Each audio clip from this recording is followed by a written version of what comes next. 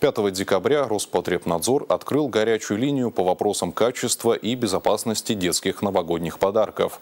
Это традиционная консультативная декада. На горячую линию потребители могут направить как жалобу, так и получить разъяснения и советы, на что в первую очередь обращать внимание, выбирая тот или иной новогодний подарок.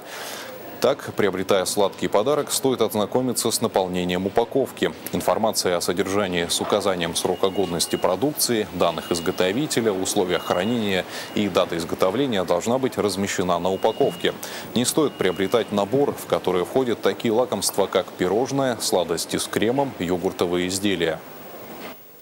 Вопросы в основном связаны в данном случае с качеством данной сладкой продукции. Там где-то налет, где-то сроки годности.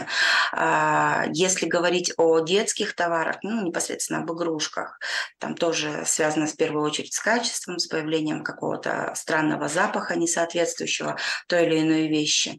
А в среднем, а, если прослеживать многолетнюю, то таких обращений вот в новогодние периоды ну, порядка 50-60 точно приходит. Если в подарке находится игрушка, то она должна быть упакована отдельно, собственной маркировкой и информацией об изготовителе, сроке службы, минимальном возрасте ребенка, для которого она предназначена. Продавец по требованию потребителя должен предоставить документы, подтверждающие качество и легальность реализуемого товара. Обязательно нужно поинтересоваться сертификатами соответствия при покупке пиротехнических изделий. На гирляндах должно быть указано, где их можно размещать – на улице или в помещении. Кроме того, Роспотребнадзор в целях обеспечения безопасности рекомендует предпочесть изделия мощностью не выше 50 Вт.